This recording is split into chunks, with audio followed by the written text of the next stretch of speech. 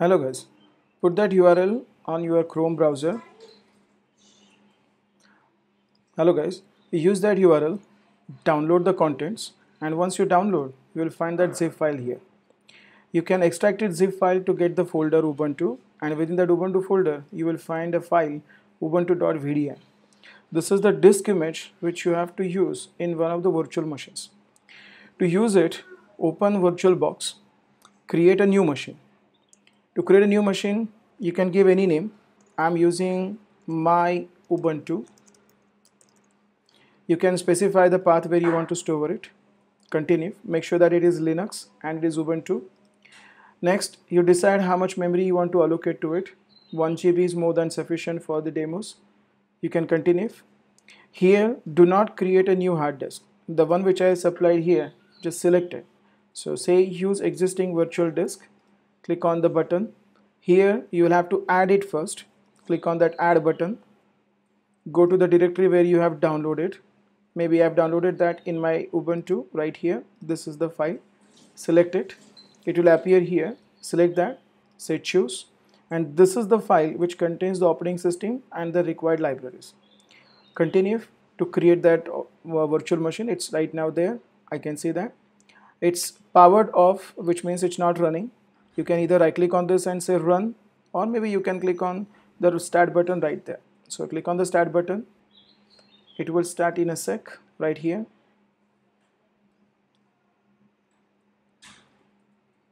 It's booting. Will take second or two. Okay the booting is done. It is looking for uh, Ubuntu uh, the login. Maybe the login is sunbeam. That's a username. Sunbeam1234 that's the password so once you enter your credentials, you will see the Ubuntu running. This virtual machine does not have UI and the good thing is we don't need UI. So we are going to use only the commands. So this is a bare bone operating system which does not include the desktop which will take less amount of memory and that's the reason why I've installed that in the console mode.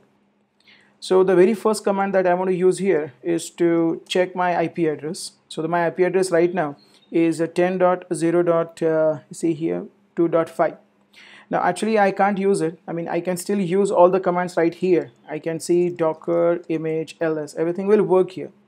But the problem with this is uh, it does not give you the color. It does not give you the copy paste feature. And that's the reason I'm not going to do it in this way.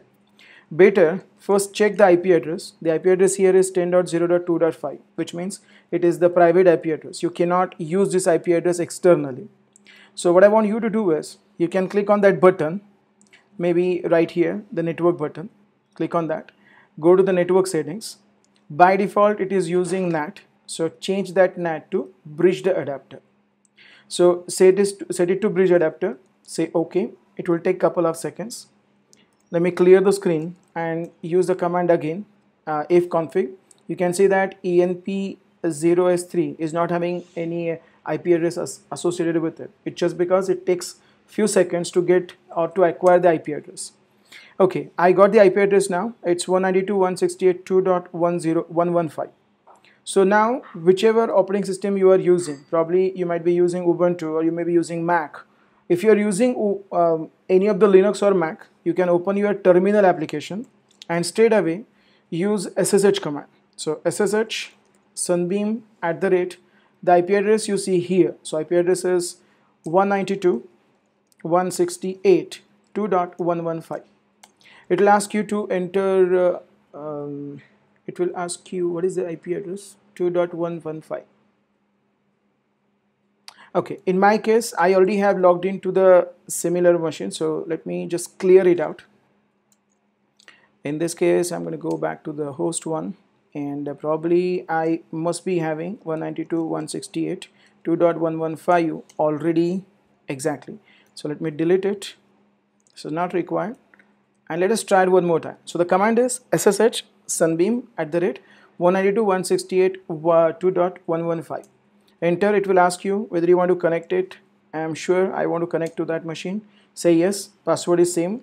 Sp sunbeam 1234 so you see everything is exactly similar. So you can use all the commands there docker image ls it shows every single thing what you can run here so probably you can say docker image ls you see the same output I would prefer using this one. So if you want, you can do it in this way, or if you want, you can do it in this way. Whichever one you will prefer, it's up to you. Now, those people who are using Windows, for them, you can't directly have that SSH command. So better you can use putty. Now, unfortunately, I don't use Windows. So probably you will have to download that uh, putty application on your machine and use that path, uh, use that IP address and directly connect to that machine. If you face any problem, ping me on WhatsApp. Probably I can answer it there. Thank you very much.